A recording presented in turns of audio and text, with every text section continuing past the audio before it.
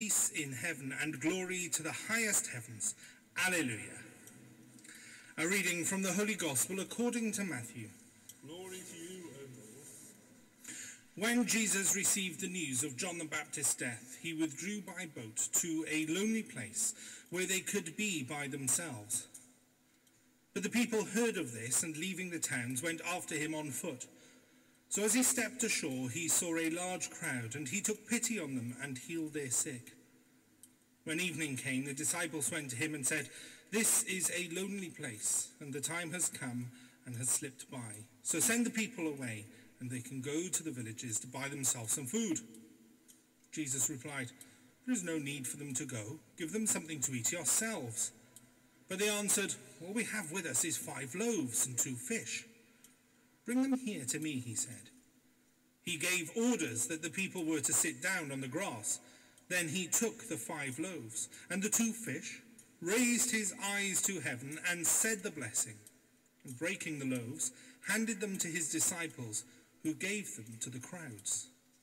They ate as much as they wanted, and they collected the scraps remaining, twelve baskets full. Those who ate numbered about 5,000 men to say nothing of women and children. This is the gospel of our Lord. Praise to you, O Christ.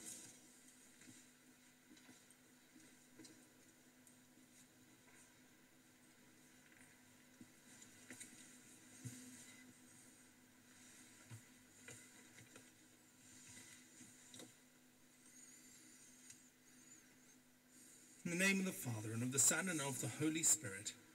Amen. Please sit. I think this reading, as it's told here in Matthew and also in John, is uh, probably one that most people know. Probably people who never come to church know this story. And it contains two of Jesus' miracles. The feeding of the 5,000 and another one. And the other one we often miss. Now we often dismiss this whole reading as something to tell children. It's trying to tell us something, but we're not quite sure what. It certainly wasn't that suddenly there was enough food to feed 5,000 people when moments before there were only five loaves and two fish. And we think like this, we approach this story like this because this is what our lives have taught us. Now, I often think, and I can't help it because this is what my life has taught me, I think about Jesus and the disciples as some kind of committee. And we've all been on enough committees to know what they can be like. I can see them sat around a rock in the middle of the field with the, with the 5,000 people just outside with an impending crisis.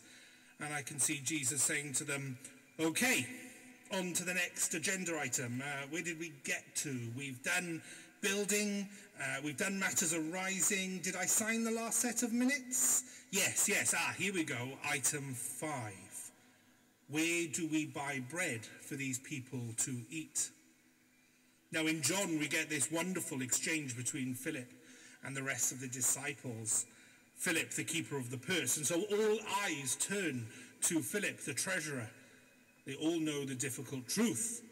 The account books are not good. Uh, replies Philip, um, it would take about six months' wages and we still wouldn't actually feed everybody properly. Jesus looks on knowingly. Well, says another disciple, if we can't do it properly, is it worth doing at all? Another disciple cuts across him, hang on, hang on, hang on. We can't seriously consider doing this, can we? What about our donation to the Orphan Fund of Galilee? We didn't have enough money to do that, so how can we do this? No, no, no, another voice drives in. This is mission. If we can do this, if we can be seen to be helping people, then that will bring more people to meet with Jesus. Philip, what do we have in the mission account? Well, replies Philip, we could just about manage it, but I'm not sure what the point is. We're not going to get very good PR out of this. As I said, they wouldn't be enough to give everybody more than a small amount. And I can see Jesus listening to all of this. As ever, the disciples disagreeing with one another, everyone trying to get their point across. All very good points, of course, all worth listening to, but they all miss the point. They've already missed the first miracle, and so have we. What is the first miracle in this reading in Matthew? Is it the multiplication of the loaves and the fishes?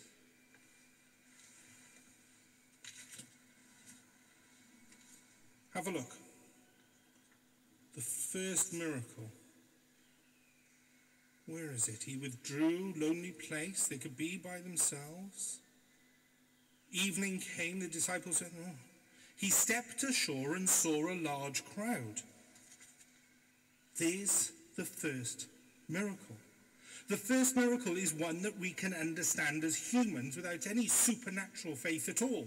It requires no belief. In fact, in attempting to engage with the miracle of the feeding of the 5,000, we miss the easiest for us to understand. And we understand it because we do it each day, each Sunday. We follow Jesus because he speaks to us. What is truly wonderful is not that a seemingly human being could multiply loaves and fishes, but this man could inspire thousands of people to follow him physically across the sea. That this man could represent such hope, such healing, such love that people would follow him about to such an extent that in another part of the Bible we learn that Jesus had to go out to sea in order not to be crushed, so that he could be heard by such a large crowd. The fact that people followed Jesus then, and are still following him today, is the first miracle. If we understand that, then we can engage with the rest of the reading. When we understand that the miracle, then our conversations and our problems that seem so huge that they can't be fixed become different. We have recast our understanding of what is possible. Now we all understand those problems, those things that are seemingly too big to fix. How do you feed 5,000 people? Well, we understand that. We understand that now.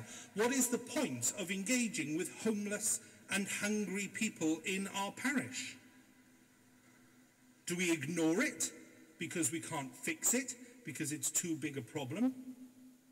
Do we attempt to do something that we can label as mission and can attach a press release to because we are being seen to be doing something good and through that attract people to the church? Do we immediately turn to our accounts to figure out what we might be able to do? We can be so overwhelmed with the size of our problems that our response to engage with the detail in front of us that we forget that we are all in a boat together, rowing towards the other side of the sea, apparently without Jesus, only to find that he's ahead of us but not in the way that we were expecting. We get stuck in thinking that we're in the boat, the boat is rowing, and we need to just concentrate on that one thing in front of us that completely overwhelms us. But there is another way of looking at overwhelming problems. And that's the central message of today's gospel. How do we feed the 5,000? I'll tell you. We do the small things that are in front of us.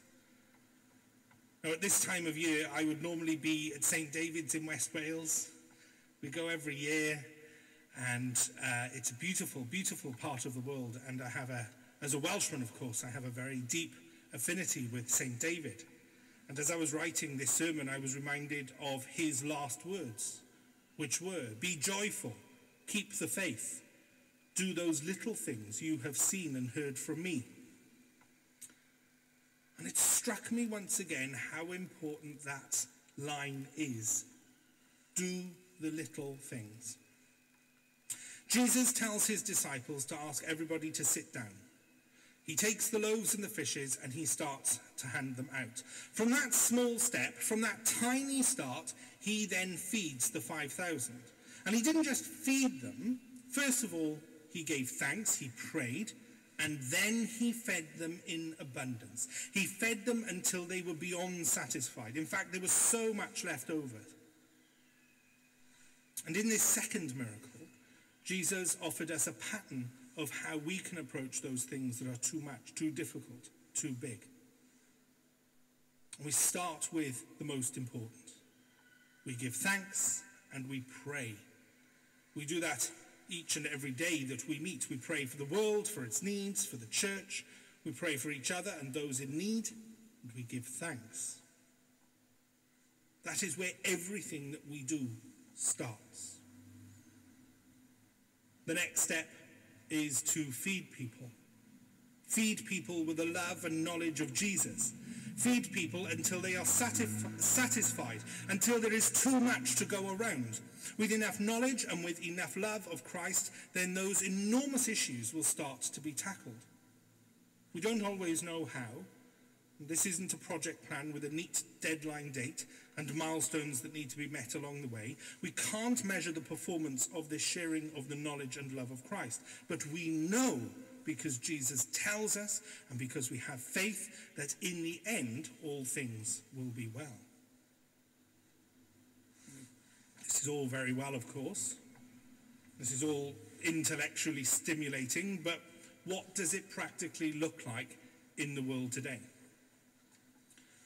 Let's take an example from my first curacy in Hereford. Several years ago, we all saw the horrendous, heartbreaking pictures and video of Calais, of refugees gathered on the coast of France, attempting to get to the UK, and indeed it continues to this day. The big international aid agencies were essentially banned from helping, and the French and the British governments were trying to do everything that they could to break up the large camp that had been established. And they succeeded. They dispersed 10,000 desperate people along the coast of Calais. So what could we do, a tiny church in Hereford? What could we hope to do for 10,000 people in another country? Well, we followed the model that this gospel gave us. We started with prayer. We gave thanks for Jesus in our lives and then we started to do the small things in front of us. We collected sleeping bags. We collected food. And we drove to Calais and we gave it out. There's a tiny scratch in the problem in front of us. But we continued to do the small things in front of us. Many people were doing the small things over and over. And all of those small things started to add up. Many charities drew together lots of people who were doing small things. And those small charities are just one part of lots of other small charities doing small things. So now in Calais, there is a distribution point, a warehouse, and people on the ground collecting all of these small things, trying to make best an impossible situation. And they do it there in Calais through prayer, through love, and through all of the small gifts that are brought to them.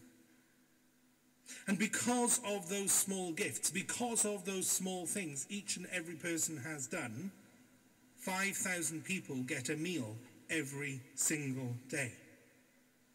5,000 people get prayed for every single day. And that, everybody, that is a miracle. From the marrows and the pumpkins of Hereford, 5,000 people get a hot meal. From the 20 sleeping bags that we collected, 5,000 people get a warm night's sleep.